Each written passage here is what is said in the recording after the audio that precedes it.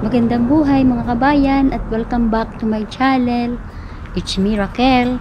Andito po ako ngayon sa aming backyard at uh, kung natatanaw niyo po yung aking sunflower plant at uh, tingnan niyo naman po at uh, halos ay kapantay na ng sahig ng aming second floor na tinitirahan at uh, sobrang laguna at ito po yung mga bulaklak niya ang pinakamataas po dito ay halos nasa 12 feet na.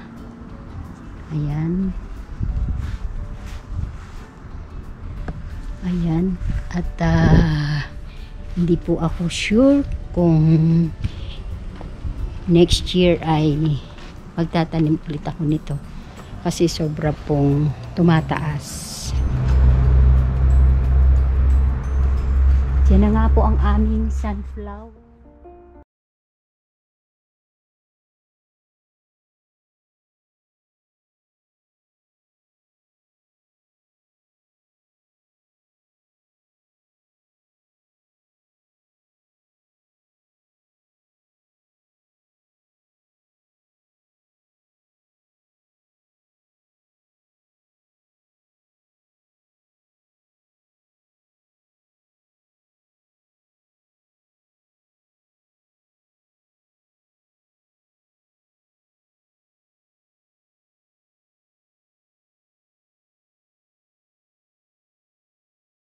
lagyan po ito ng ganito para hindi siya matumba.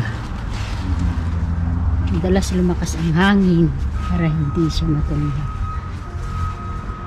Ayan. Yun po ito oh. sobrang lapad. Mas malap lapad isa nahulog na ang mga bulaklak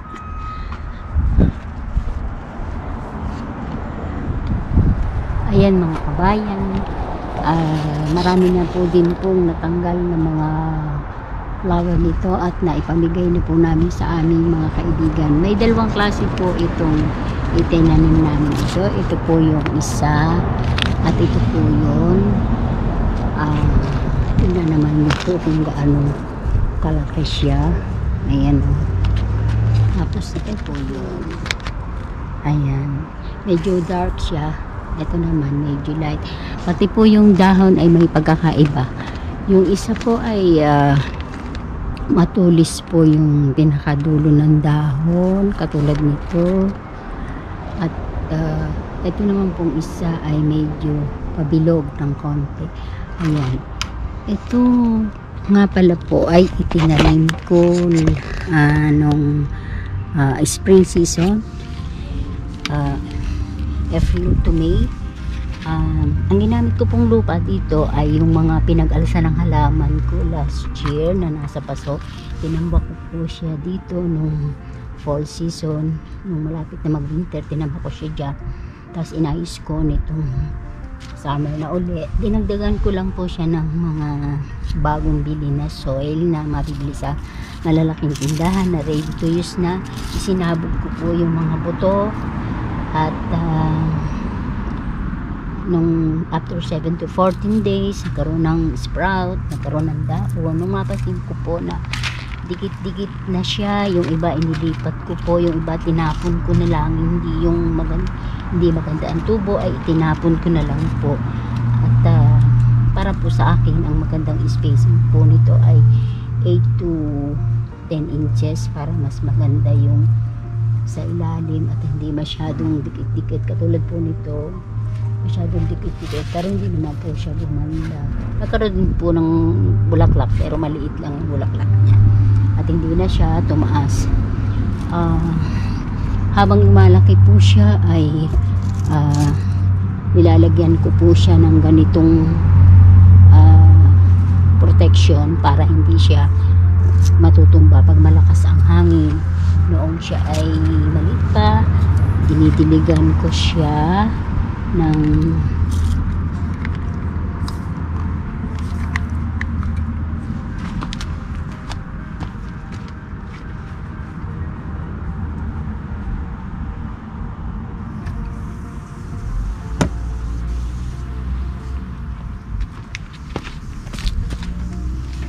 nang siya po ay maliit pa, dinidiligan ko po siya ng ganito.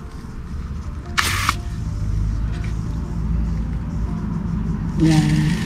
Para medyo mahina po, pero nung lumalaki na siya, medyo malakas-lakas na yung impact.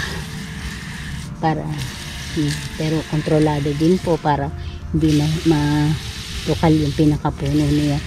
At yun po ang magiging dahilan para matumba siya. Ayan, habang lumalaki po siya, nakakaroon ng, ayan, ganyan. Hanggang sa magkaroon ng magagandang bulaklak. Mukha, naniniwala din po ako sa sa pag ah, sinasabing east to west kasi napasin ko po pag umaga pagka maliliit pa siya ah, medyo nakaharap sumusunod sa araw nakaharap sa araw siyempre sa east sa umaga. Then later afternoon nasa ah, ba, parang napansin ko po talaga na gumagalaw sila. At ah, pag siya po ay yun nga every morning lagi nakaharap siya sa east pero pag ganito na po siyang katanda ganito na po na maano na yung buto nag stay na po siya sa ganyan. At medyo yumuyo ko na din yan iniintay ko na lang po itong mga buto na to na gumulang siya hanggang sa fall season at ah, tinatanggal ko na po yung buto. Ito pong buto nito ay edible, pwede pong kainin. Ito pong variety na ito. At mm, pwede rin po sa ibon. Madalas pong bisita nito ay itong mga bees at saka mga butterfly. Kaya pwede rin pong taniman nga ang ilalim niya ng mga squash para sa ma- maganda sa pollination. Ayan. Ito po. At ah, meron pong uh, meron pong iba-ibang klase nito meron pong maliit katulad dito po ito po ay uh, kung tawagin ay false sunflower daw Ah, 12 to 14 inches lang po siya tumataas ganito na po siya ang hindi ko lang po alam ay kung magpo-produce siya ng mga buto para ah, makapag-produce tayo ng marami. Pero ito po ay perennial. Babalik siya sa isang next year summer. Babalik siya. Babalik. Kaya ito po. At ah, ayan. Ang kagandahan naman po nito ay ito po. ah, madalas po kami dito sa aming deck. Ah, pag summer, minsan nagkakape, naidlip ng konti. At mm, ito pong mga ito ay mataas nga, nagsisilbing lilim po dito at ah, at ah, yun pong hangin, masarap na hang, hangin, ayan po. Ah, ayan po naman ang kagandahan.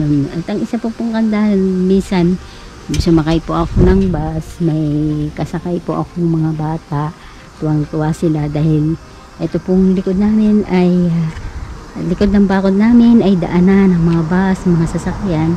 At syempre po yung bus mataas na tatanaw din nila itong mga bulaklak at sinasabi nila na giant flower daw. Napapawaw sila dahil nagagandahan sila. Ayun naman po ang nakakatuwa. At um, nakagawa rin po kami ng ng bouquet para sa altar at ah, sa center table nakakapamigay pin din po kami sa mga kaibigan. Ayun naman po ang kagandahan. Pero tingnan po natin kung next year po ay ganito pa rin po ang tatanim po or mas mababa na ng kaunti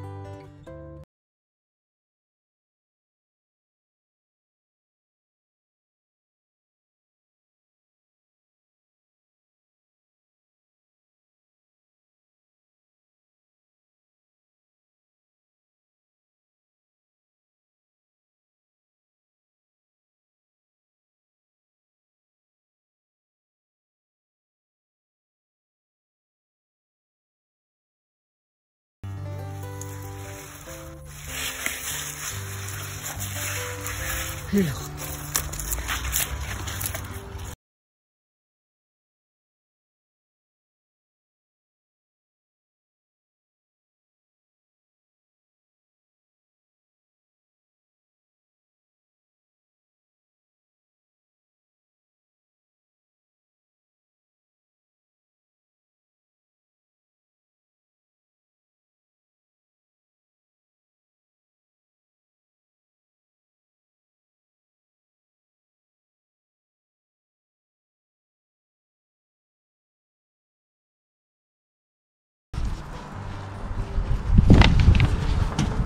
Ayan po ang kwento ng aking sunflower.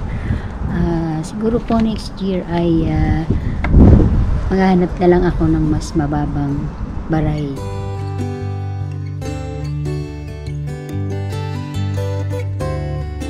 Ah, ngayon po ay shoutout tayo.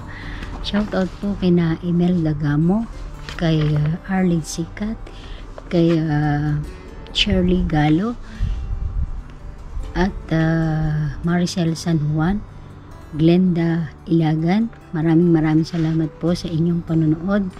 Shoutout din po kina Mary Jane De La Roca, kay Jessica Marillas and family, at Ellen Hernandez, at Cristeta Bintol and family. Maraming maraming salamat po sa inyong panonood.